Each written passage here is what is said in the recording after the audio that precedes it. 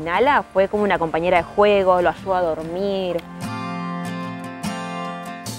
Come él algo, le da la perra, está todo chupeteado, lo come igual. Duermen juntos.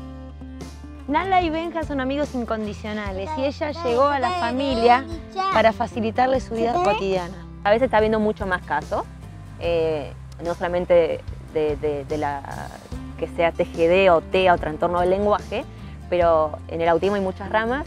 Yo digo que cuando te, toca un hijo así, no sé, lo primero es eh, buscar la ayuda profesional, eh, hacer la consulta con con tu pediatra, el psiquiatra, el neurólogo y de ahí arrancar. Y hay libros, hay información, hay foros, hay páginas. Te compras automáticamente todo para que él eh, se estimule, tenga herramientas para progresar, eh, para lograr el vocabulario. Yo digo que invertís en él, por eso que es hijo único.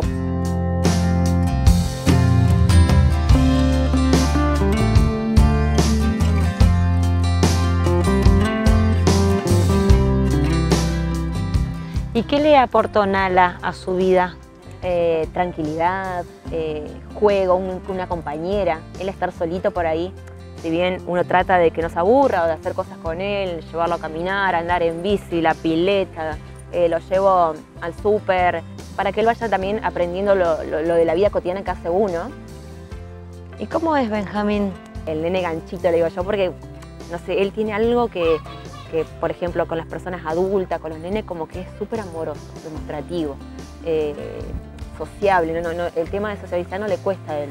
Es súper hiperactivo, es, es un nene, no sé, familiero, eh, le gusta, él le encanta, si fuera por él viviría en el campo, porque le encantan los animales, el pasto, el tener un patio para correr, la pileta. A, la sociedad le cuesta todavía, porque hay mucha gente que, que, no se, digo que no se interesa por saber, ¿viste?